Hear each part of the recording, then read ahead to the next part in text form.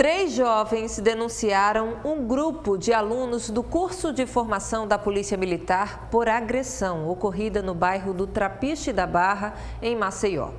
As vítimas relataram que foram espancadas, xingadas e que até um aparelho de som teria sido furtado pelos agressores. O caso foi parar na delegacia. Este jovem conta que estava com mais dois amigos na Praia do Sobral, após uma sessão de fotos, quando foram abordados e agredidos, de acordo com as vítimas, por alunos do curso de formação da Polícia Militar. A gente estava rindo no momento, mas a gente estava rindo por causa da sessão de fotos que a gente fez, porque tem algumas fotos que ficaram engraçadas a gente estava rindo, só que a gente estava rindo focado no celular. Mesmo assim, fomos agredidos. Eles disseram que estávamos rindo deles, zombando deles, sendo que foi uma coisa que a gente não chegou a fazer em nenhum momento.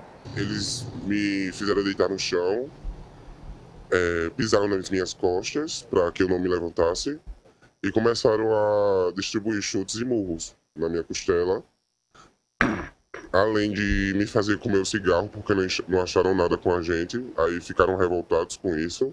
Além do constrangimento que me fizeram passar porque colocaram um, cachorro que estava no cio em cima de mim e me fizeram deixar que o cachorro fizesse tudo que quisesse fazer comigo, porque senão eu iria apanhar mais.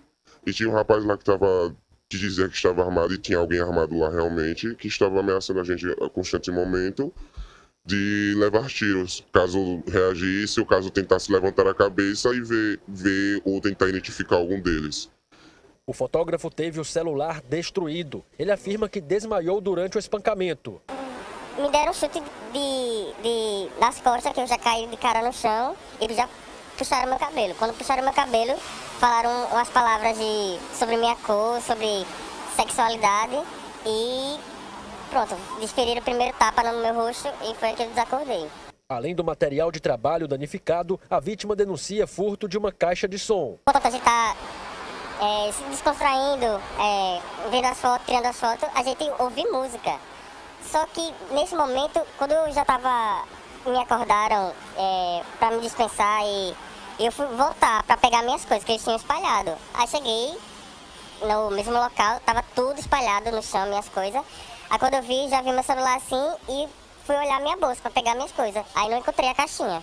Quase uma semana depois das agressões, as marcas e as dores são sentidas até hoje pelos rapazes. Eles fizeram de tudo, eles me chutaram, eles me deram tapas na cara, murros, entendeu? As minhas costelas, até hoje elas estão doloridas por causa dos chutes e dos murros. Foram diversas, diversas, diversas as, as agressões.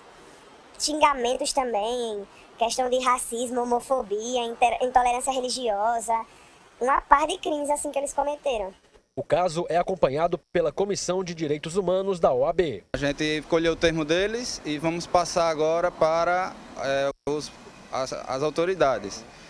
O Ministério Público, o delegado geral, para que eles façam a apuração e, e as medidas cabíveis. As vítimas fizeram exames de corpo de delito e boletim de ocorrência. Foi um trauma que ficou. A partir do momento que eu vejo uma viatura, para mim, acabou. Já, meu coração já acelera, eu começo a suar frio, começa a me tremer, porque é realmente um trauma que ficou, um medo.